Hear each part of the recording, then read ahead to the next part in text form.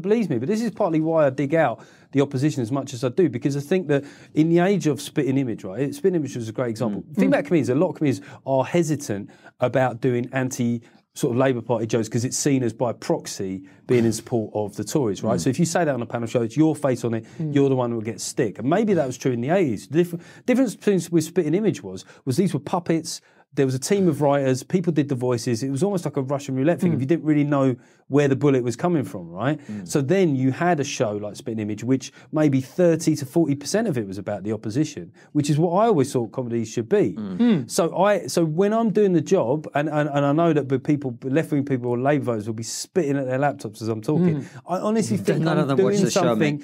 I honestly think I'm doing something of, of worth because it's that. And you look at a lot of things that, that I and and and then the people that critique in the Labour Party have said in jest have been things that if they'd listened to, they would have done better, right?